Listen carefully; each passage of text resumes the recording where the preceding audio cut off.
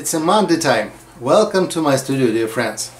Today we are in my studio, but we are going outside. The subject of our painting today, just one shadow. And I will show you how it's possible to create the whole the painting using just one shadow and almost nothing more.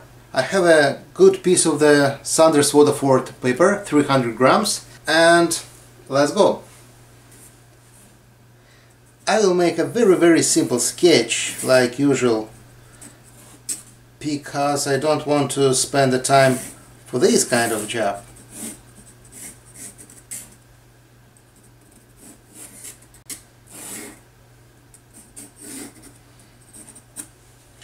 Okay, the sketch is done. Like usual, it's just measuring our space, like a map, nothing more.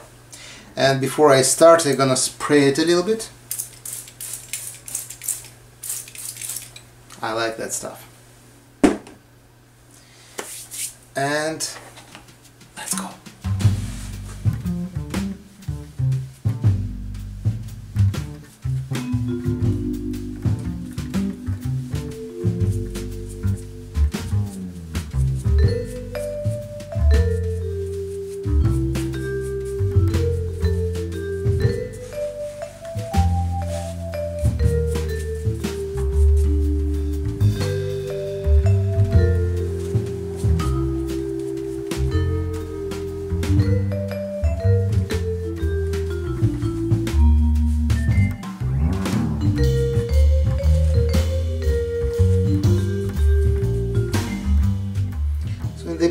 I'm just preparing the lighter part. Just a little bit. And like I promise you I do almost nothing so all the job will be made by creating this shadow later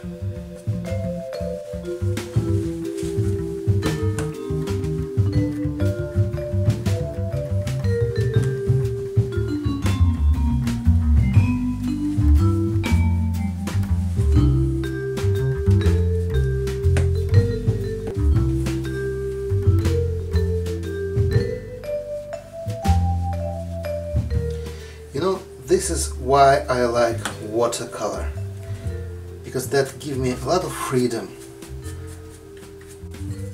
The bigger part of the job, the water made itself.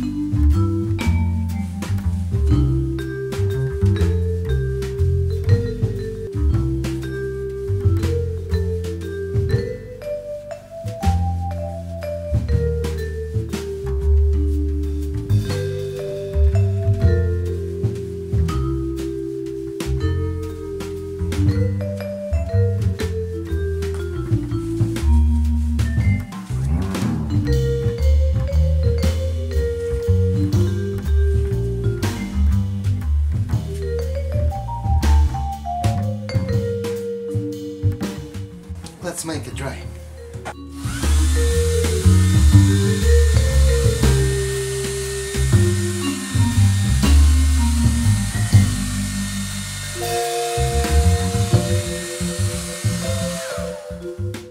Like you can see we have almost nothing. So now it's the shadow time. I switch to the calligraphy brush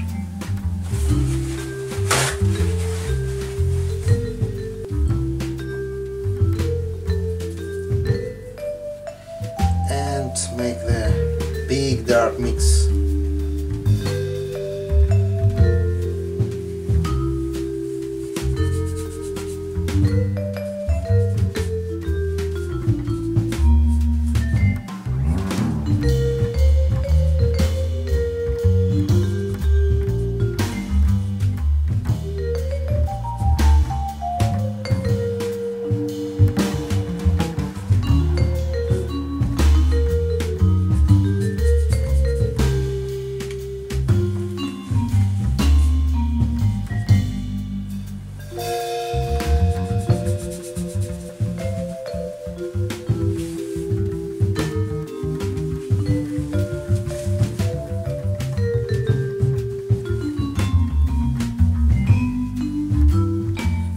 Shadow I'm use the basic mix between Perylene Violet and Indigo and times to times I add the different pigments inside.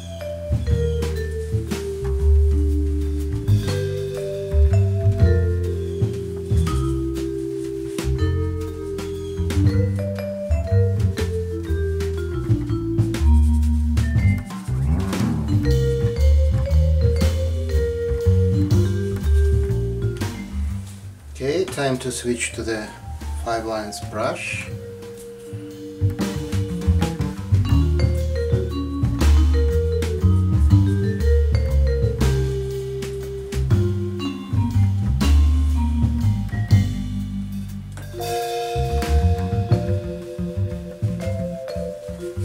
I'm preparing the some shape for my future details and I'm gonna use for this that big guy because that make all my lines alive and a little bit unpredictable.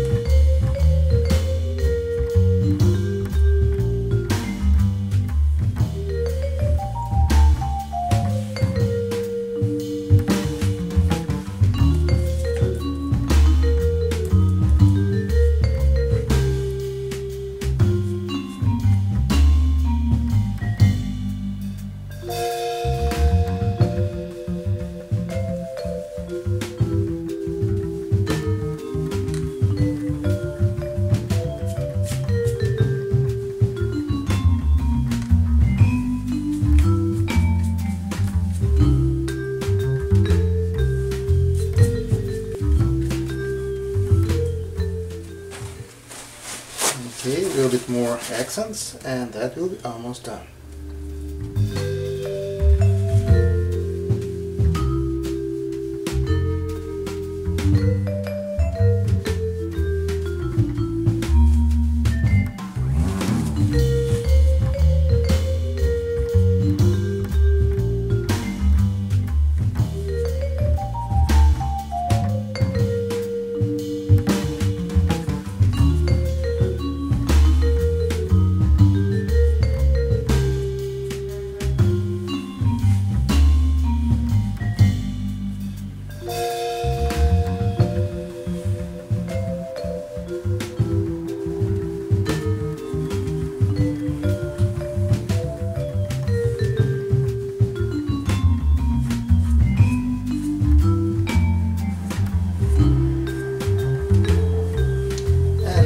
Light inside the shadow.